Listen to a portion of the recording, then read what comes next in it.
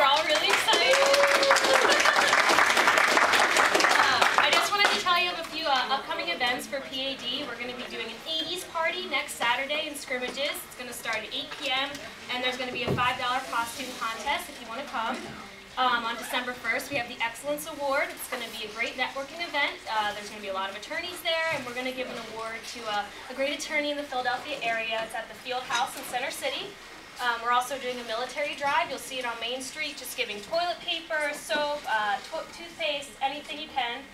And also we have I Am the Law bracelets for $2 out there. And I'm going to hand the show over to Justin uh, Gillig, wherever he is, yes. And- All right, welcome everybody to PAD's Are You Smarter Than a Law Professor? Uh, basically, right now I'm going to introduce the professors.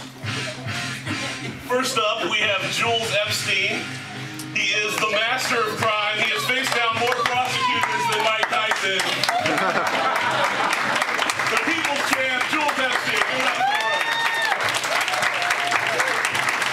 And you want to sit right over there, sir? Name tag, take a seat. Next we have Andre Johnson, a man who is originally from Philadelphia. We stole from Florida, three-time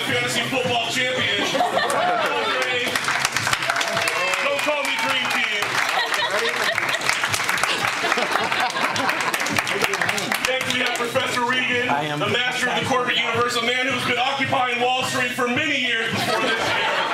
Give it up for Professor Regan.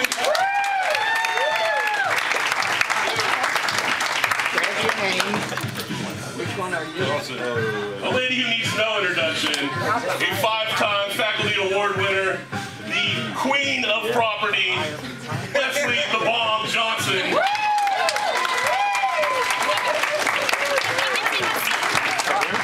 And finally, Professor Turezyn, the master of disaster, the queen of torts, a woman whose shoe closet is worth more than my